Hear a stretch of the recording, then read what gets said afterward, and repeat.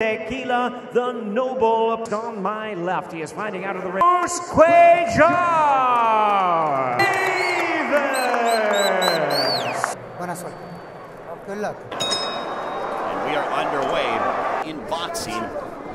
And the game plan Barclays Center was his victory. So that is ability of Davis, but it will certainly have to as Jose Pedraza when he won the world title. As he potentially sees the opening his way in and put Oquendo times. Nice straight left hand. Davis have this reckless aggression. He needs to be able to, that you have to be cognizant of at all. But Cuellar answers with the right hook. Blasted with a shot from Jesus Cuellar, and Davis knows it. 65 seconds left and sort of out of his element, out of the game plan. Very solid run and stacking up the Argentine. Monte Davis and Jesus Cuellar. Yeah, on Cuellar, Manny Vontae Davis.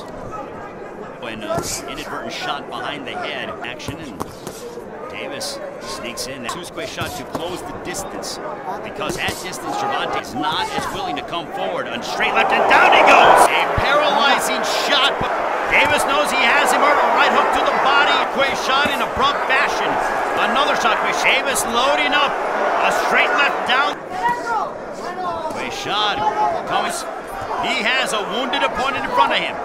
Down Quay shot earlier in the round. A straight left that connect beneath him the third round. Oh, big straight left hook made. Quashon oh, takes the canvas for the first time. Davis, boom. A straight left hook was very honest with him as the, they're both exchanging hooks on the end. An uppercut and into our favor. A 10-9 round by three points early. Another straight left butt.